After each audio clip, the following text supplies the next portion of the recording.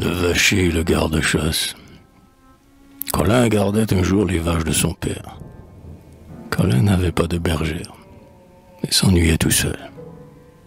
Le garde sort du bois.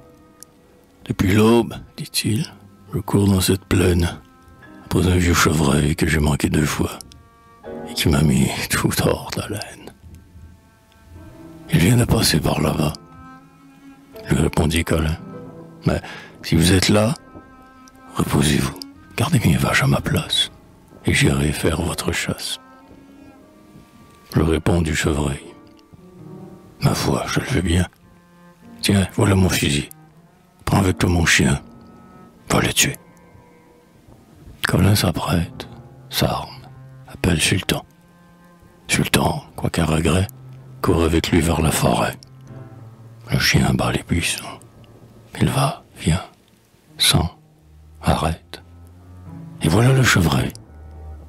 Colin impatient tire aussitôt, manque la bête et blesse le pauvre sultan. À la suite du chien qui crie, Colin revient dans la prairie. Il trouve le garde ronflant. Des vaches, point. Elles étaient volées.